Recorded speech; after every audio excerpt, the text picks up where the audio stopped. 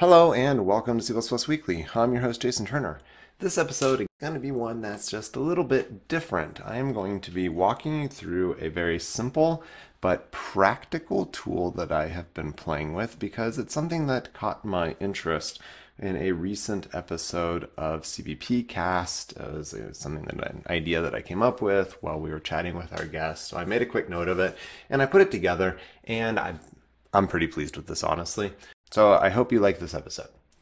All right, so what I want specifically is to create a bit pattern match utility. So I'm going to go ahead and I'm going to just kind of make a really simple test here to show what I'm looking for. I want to be able to do something like this. I want a static assert that some value. Now this is going to be something that might be used for uh, parsing protocols or writing an emulator or something like that. And it's the kind of thing that ends up being just a little bit ugly when we write the stuff by hand. So I wanted to make it, well, not by hand. So I wanted to say I want some thing. Let's do this pattern. I want to say static assert that this literal is equal to my bit pattern. Uh, I am a little bit lost, honestly, as to whether or not this should be an equals operator overload or some other operator or a function call. I ended up going with equals operator overload and specifically with the value on the left-hand side and the pattern on the right-hand side. To me, that made sense. Um, but it won't compile in any other way by the time we're done with this project. I want to say, I, I want this to match the pattern. I want to say the first two bits must be 1, and then I don't care what the next three bits are, and the last bit is 1. So I can do something like that, or if you prefer, something like this. But I want a way of saying I care about the first two bits. No, uh, yeah, something like this. Let's actually, I'm going to add one more value here just to make a point. So the first two bits must be 1, 1. The last two bits must be 1, 0. I don't care what the middle three bits are. That's my goal here. So I started to think, can this be done and can this be done in an efficient way? So, well, I think it can be. So I've got my bit pattern class. This isn't going to be a template. What? Um, with uh, two pieces of data that are key here, I need, and now I've decided to go with uint64_t. Um, I don't know if that's also the best thing. Perhaps I should have templated on the actual size of the thing here, but for our purposes, it doesn't really matter. This is the largest built-in type, so it'll work with everything.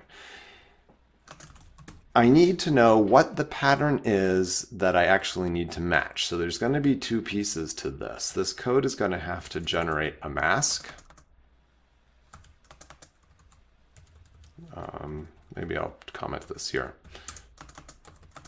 The match is the expected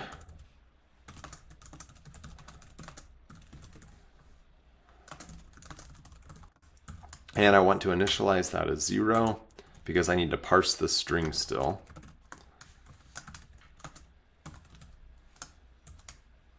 Now the mask is the set of bits that I do care about.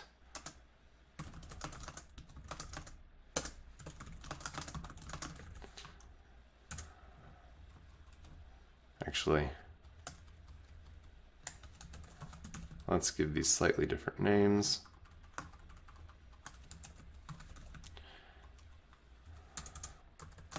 So if this mat pattern matches, then it'd be something like input with a bitwise and of the mask is equal to the expected result. That is what we're going for ultimately.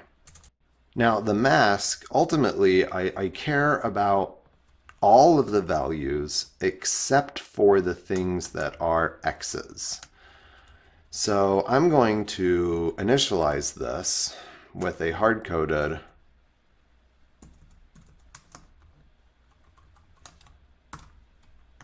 value for a 64-bit integer that is all ones.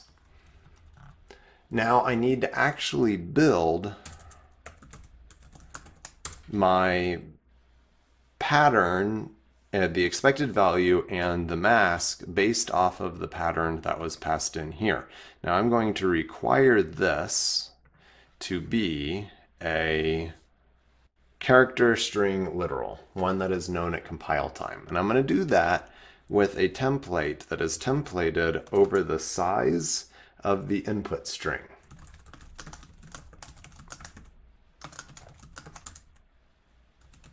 Now, of course, we're going to make this explicit because we don't want just any random string being convertible into a bit pattern. That sounds like a bad idea. And obviously I show this static assert down here, so this needs to be a constexpr constructor. Now I've got this template on the incoming size of the string, and this syntax messes me up every single time I go to use it. So this is what it looks like, and I'll describe it in a moment. So what I am getting is a reference, this, and these parentheses are necessary. If I remove these parentheses, this thing does not compile. This so input is the name of the parameter coming in, and it is a C-style array that is actually known at compile time. Normally, if you do this kind of thing where you do an array parameter passed to a function, you pass in a size with it and it's not a template, then that actually decays to just being a pointer parameter to the function and it doesn't do what you want it to do at all. It's a very sad situation. So this is what we want and now I need to loop over all this.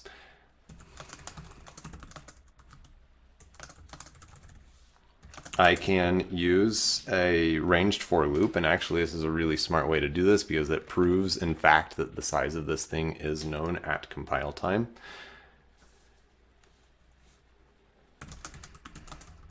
So if val equals zero, then we have reached the end of the null terminated string. We'll simply return from here.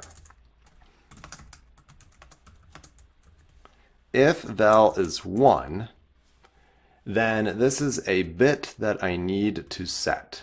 So I'm coming in and I've parsed this one right here.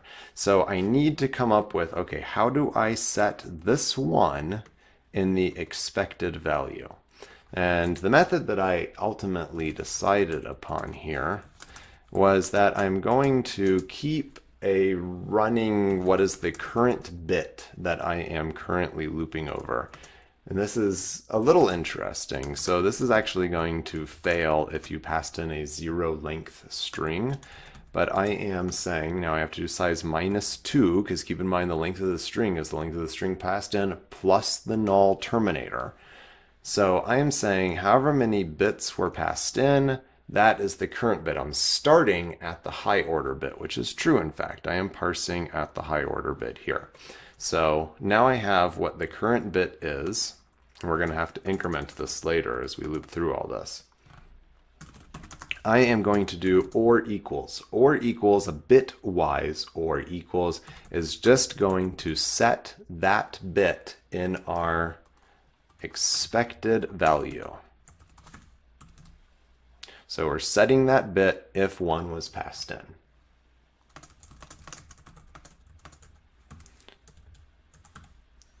if val is equal to zero, there's nothing to do because I the whole thing was already initialized to zero.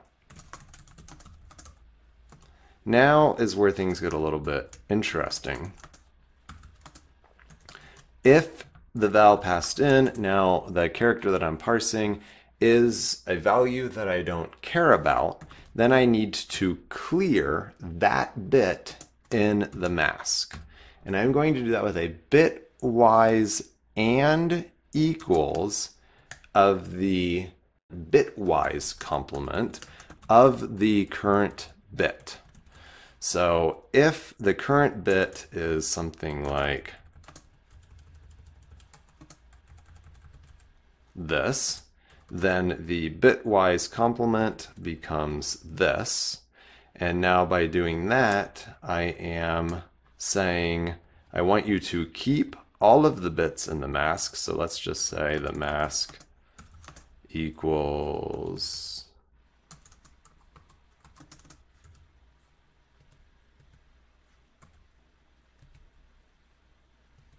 that at the moment. Then I do a bitwise and with this. So let's see what that would look like. Bitwise and with this new value come in. Then the result is going to look like this. Like that. So I just cleared this incoming bit right here.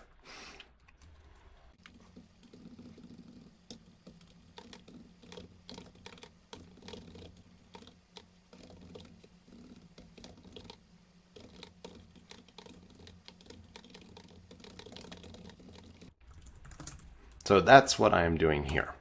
Now, regardless uh, of what happens, if, if I've got some input that I don't understand, if it's not zero, it's not one, and it's not x, then I have to do something. And I can, even though this is a constexpr function, I can throw standard logic error. Now, I want to point out real quick that I am using GCC trunk at the moment. That'll be important in a moment.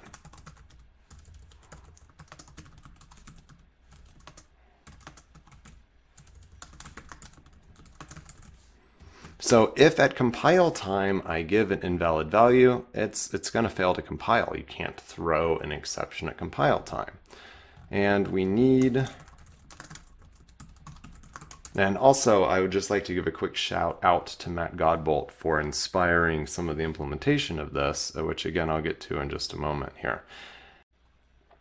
Now, the last thing and important thing to do is for each loop iteration, I need to shift the current bit down one. I start at the high order bit, I'm working my way down to the lowest order bit. So that should be working. And, you know, Compiler Explorer is a great, great way to prototype these things. Now, the only thing that's remaining is I do in fact need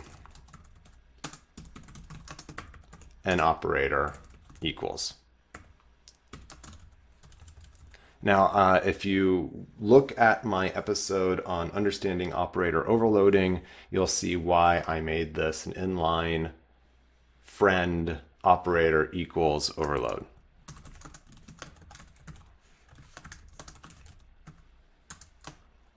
So I want the left-hand side to be the incoming value.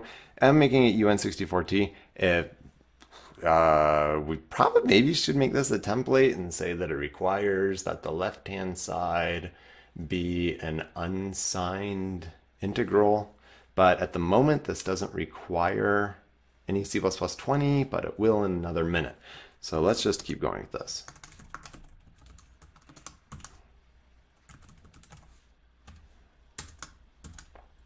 the actual implementation of this operator equals equals is pretty straightforward.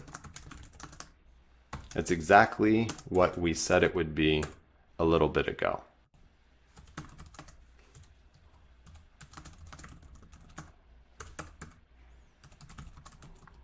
So return if the value bitwise handed with the mask equals to the expected value. And I have the problem that I have public and private backward.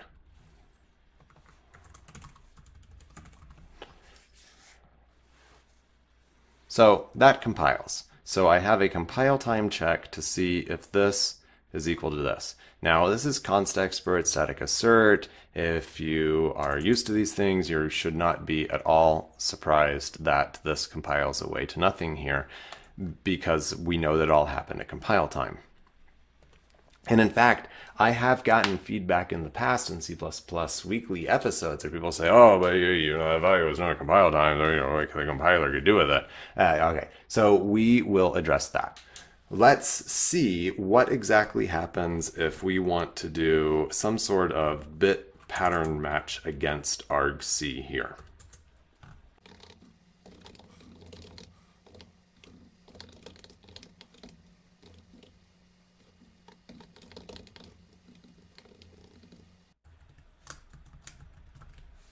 Some relatively complicated made up pattern that makes no sense at all in our bit pattern type here. And I need to update the signature for argc.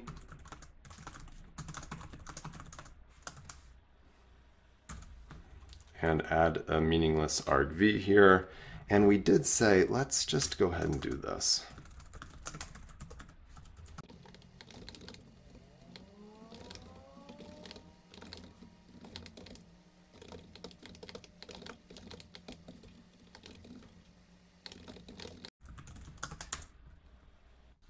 Now, the problem here is when I go off the plans, this is requiring that that is an uh,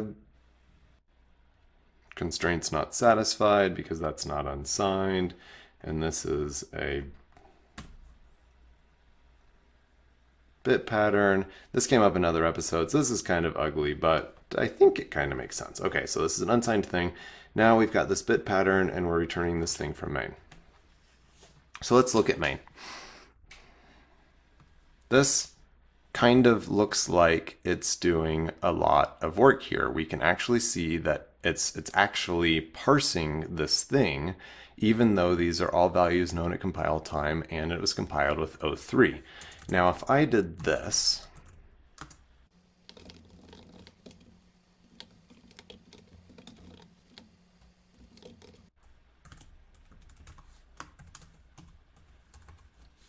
where I declare this thing constexpr, now all of a sudden it magically goes away. The compiler is able to completely parse this whole thing at compile time.